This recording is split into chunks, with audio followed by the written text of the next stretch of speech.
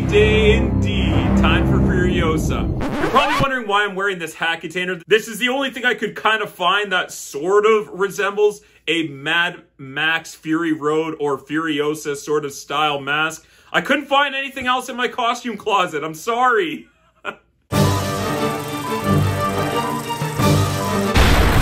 Furiosa, a Mad Max saga.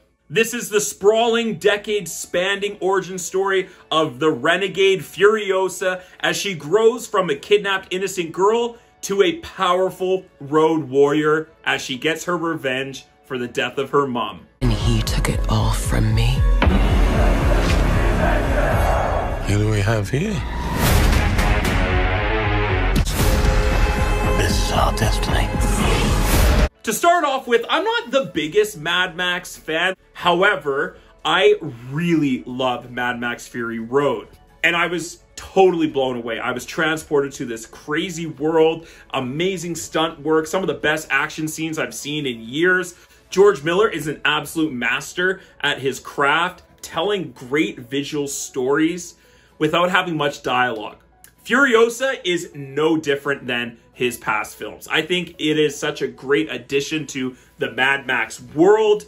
And this is the origin story of where she started from as a child. And it spans over like two decades at least from her being a kid into a full grown adult road warrior known as Furiosa. And I think that transformation is shown very well throughout the entirety of this film. The biggest thing about this movie, and I'm to bring up now, that really was maybe not a letdown, but it's just not as good as Mad Max Fury Road, is that it's a prequel. It's kind of like Star Wars uh, Rogue One.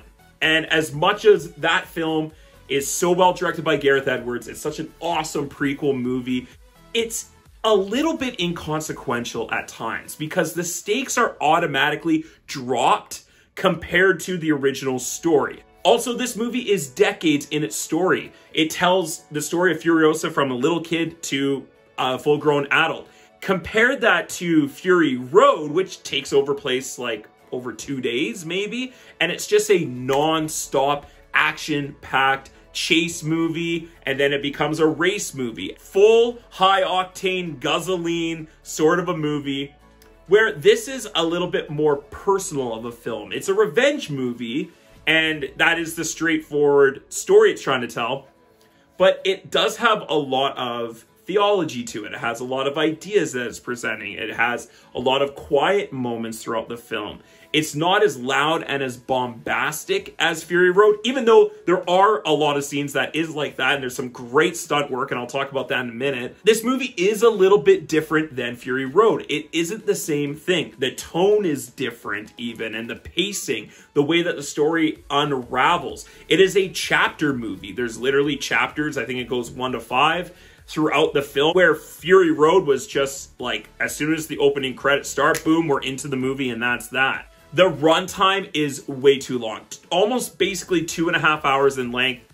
All the other Mad Max movies are well under two hours, or maybe just over two hours, just kissing over that two hour mark. So, this movie, the fact that it's almost like a half hour longer than Fury Road, didn't feel like it needed to be, and you can feel the runtime in this movie. Like, there's absolutely moments, especially in the middle of the film, that are lacking or just they just totally slow down the pace of the film. Where Fury Road just has this constant incline and then a great satisfying ending. This was more like up and down and up and down. So it's a little bit more jagged and uneven of a film especially with its editing, its pacing, and the way that the story unfolds. Those are really the only minor things about this film that were uh, maybe not even troublesome, but that definitely held it back from being like a full blown masterpiece like Fury Road is. But if you're looking at this movie objectively, how well it's made, you can't deny George Miller's genius. And I think he is one of the best, if not the best action film director of the last 40, 50 years. And also what I love about George Miller is that he experiments, he tries things out. M might not always work, but he explores the world of filmmaking in such cool and beautiful ways. I just respect him as a filmmaker and a director so much. The action in this movie is unreal. Like it's so impressive. There are about two, maybe three sequences in this movie that I literally, I'm like, how did they do this? How did they accomplish this? Some of the set pieces, the chase scenes, the, the rigs that they drive, the cars, the motorcycle chases, there were some really cool things. One thing that this movie actually did a lot better than in Fury Road was it they change up the action scenes. This movie, there's much more quieter scenes in the action. Like there's a scene at the beginning of the movie, and it's not giving anything away because this is in the trailers for this film, but Furiosa gets kidnapped as a kid and is taken. And the mother of Furiosa chases these kidnappers and she's shooting at them in this vast desert land and all these sand dunes with a sniper and she's like taking them out one at a time but it's done in this like sort of chase and stop and go action scene and i thought it was such a cool brilliant opening to a film like Furiosa. The actors in this movie are awesome. Some wonderful performances. Definitely the standout of this film, though, it is Chris Hemsworth with an absolutely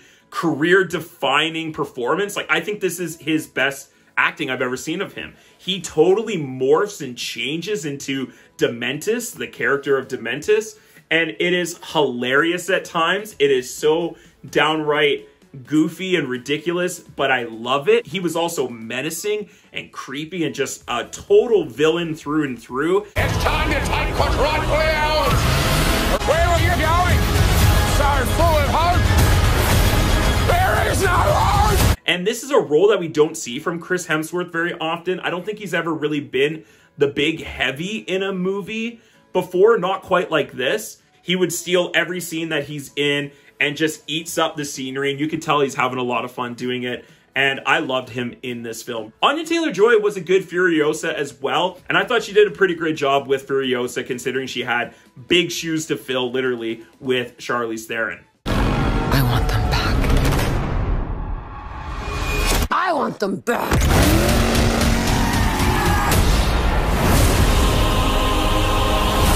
The revenge story between him and Furiosa is so great and very well told, and you feel the revenge. Like you want Furiosa to get revenge on Dementus in this film. But by the time that these two characters meet up, they finally have their confrontation.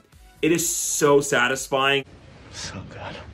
It is a very satisfying film. It is super entertaining as well the world that this movie is set in is so cool and they definitely show us a lot more of this world like that we actually get to go into the bullet farm and gastown we get a, a, little bit more of the citadel and there's just some really cool things that we didn't get to see in fury road that are much more explored in depth with furiosa the cinematography is gorgeous in this movie. There's some really cool shots, but also I loved how George Miller and the director photographer of this film move the camera throughout the action. And the camera moves around it and through it and above it and back down. And I just thought the choreography and the camera movement in this film was top notch, just spectacular. While this movie is unfortunately compared a lot to Mad Max Fury Road, and that can't be helped, this is a really entertaining, fun, crazy, high octane, guzzling filled film. And I think if you love the Mad Max franchise, you're going to adore this movie as well. If you are a casual fan, like myself, um, your mileage may vary. Again, no pun intended.